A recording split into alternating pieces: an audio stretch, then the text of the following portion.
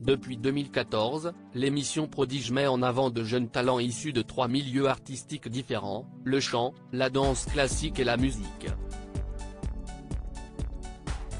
Animé par Faustine Bollard, le programme va faire son retour sur France 2 pour une neuvième saison.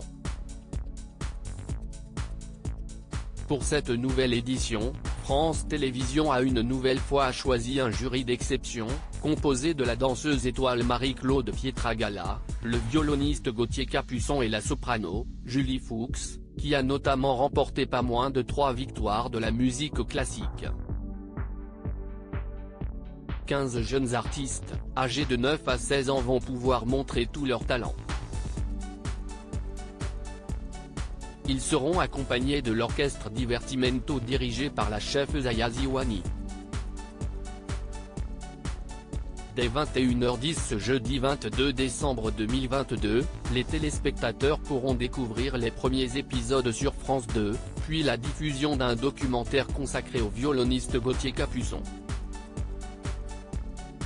Suite à cet épisode de prodige, les fans du programme verront les jurés délibérer pour sélectionner les trois meilleurs prodiges dans chacune de leurs catégories. Faustine Bollard encore aux commandes de Prodige cette année encore, CIST Faustine Bollard qui se retrouve à l'animation de Prodigue. Depuis 2018, l'animatrice de Ça commence aujourd'hui est aux commandes de l'émission.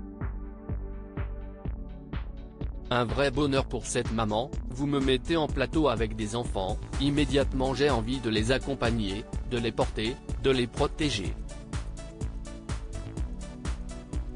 Avoir ce côté maternel, si est un rôle pour personne, mais si est une évidence pour tout le monde.